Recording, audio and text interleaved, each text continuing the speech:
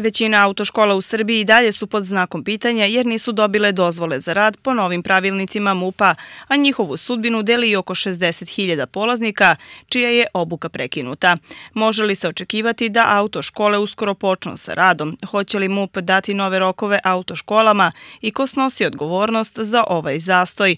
Neka su od pitanja koje se danima postavljaju u srpskoj javnosti. Do nedavno tvrdi stavovi Ministarstva unutrašnjih poslova ublaženi su nakon sastanka sa predstavnicima asocijacije autoškola.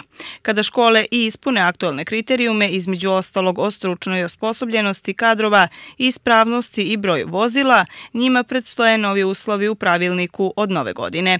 Što se tiče opštine Stara Pazova, od 12 registrovanih autoškola, nijedna nije potpuno ispunila uslove za rad. Podsećamo da je početkom juna prošle godine polaganje za B kategoriju znatno poskupelo sa prosečnih 230 na od 500 do 800 eura.